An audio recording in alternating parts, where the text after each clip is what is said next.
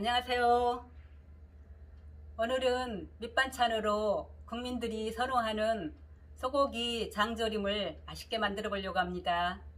장조림용 홍두깨살 600g을 이렇게 준비했는데요.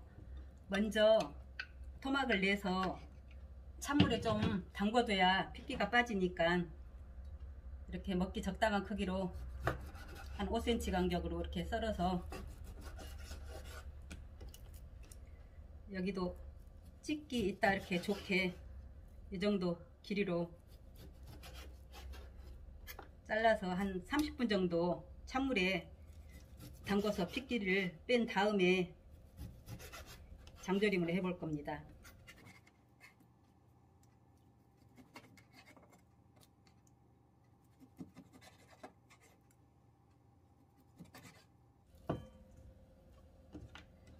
이렇게 이 정도 크기로 5cm 정도 길이로 이렇게 잘라서 한 30분만 찬물에 담궈 둘게요. 이렇게 찬물에 담궈서 한 30분 핏기를 빼주세요.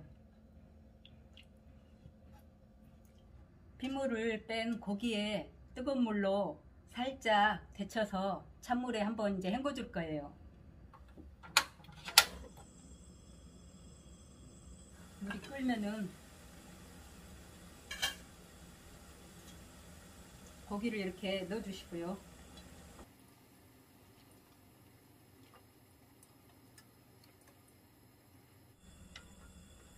고기 사이에 핏덩이가 있으니까 이렇게 살짝만 한 2분 정도만 데쳐 내주시면 될 것 같아요. 이렇게 뜨거운 물로 한번 데쳐내면은 장조림이 깔끔하니 깨끗하게 됩니다. 2분이 다 됐습니다. 찬물 한번 헹궈 볼게요. 이렇게 지금 가에는 불순물이 많이 이렇게 나와 있거든요. 찬물로 이렇게 헹궈주는 고기를 냄비 밑에다가 넣고 물 고기가 잠길 정도로 이렇게 부어주시면 됩니다. 지금 물이 1000ml인데 알 후추 한 2, 30알 정도 이렇게 넣어주시고요. 다시마 한 두 개 정도 그리고 생강 편 썰어서 조금 넣어줄 거예요.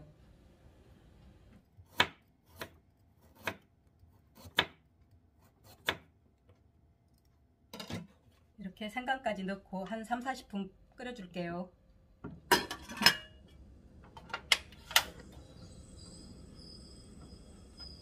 끓은 지 10분이 됐으니까 다시마는 건져내 주세요.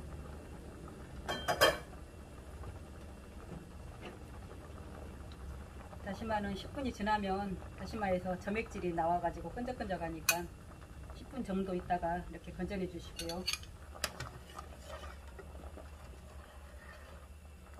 이렇게 가에 불순물이 있으면 이렇게 걷어내 주시는 게 깨끗해요.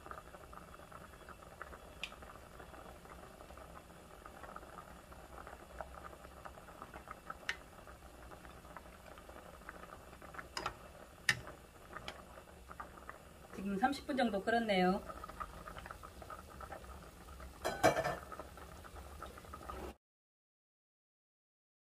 진간장을 두컵 정도 이렇게 부어주려고 합니다. 200ml 한 컵. 저는 다시마 간장으로 좀 더 맛있게 하려고 지금 다시마 간장으로 두 컵. 그럼 400ml네요. 메추리알을 80개를 좀 넉넉히 넣었습니다.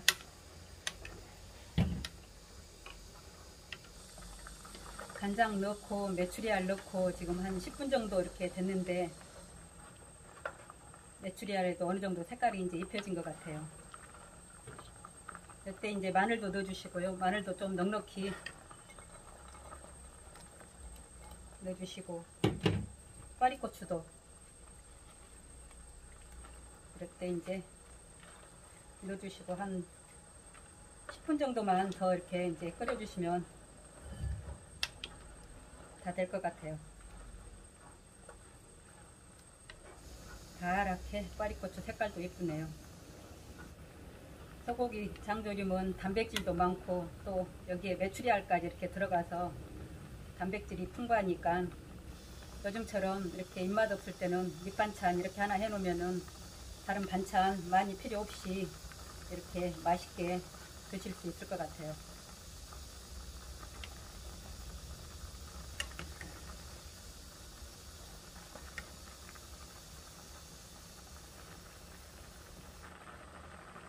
간장 넣고 한 20분 이렇게 졸였는데 다 된 것 같습니다.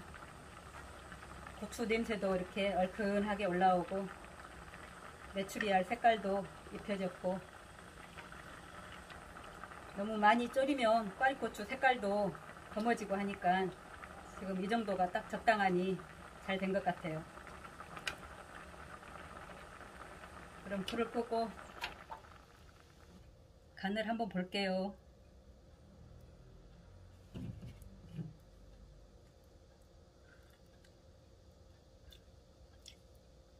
짜지도 않고 생강 향도 약간 나고 또 꽈리고추가 약간 얼큰해서 간이 적당하니 맛있게 잘 된 것 같습니다.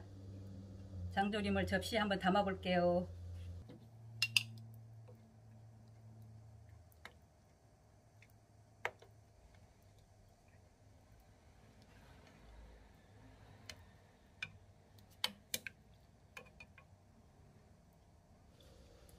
이렇게 먹기 적당한 크기로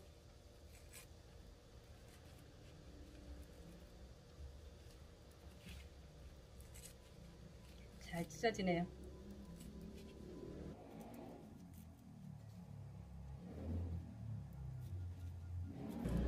장조림은 뭐 이렇게 또 찢어 먹는 또 맛도 있잖아요.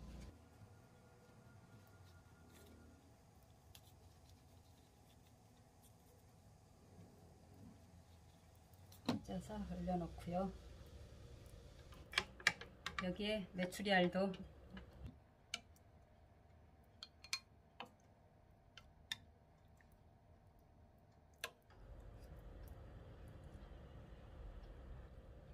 이렇게 얹어주시고요.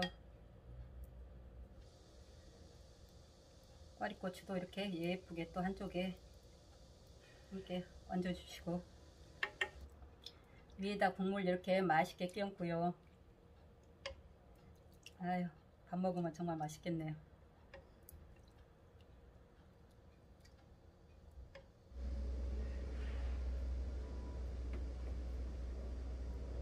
오늘 밑반찬으로 소고기 장조림을 이렇게 맛있게 만들어 봤습니다. 따뜻한 밥에서 장조림 국물 한 숟갈 얹고 비벼 먹어도 너무 맛있어요. 구독, 좋아요, 알림도 부탁드립니다. 감사합니다.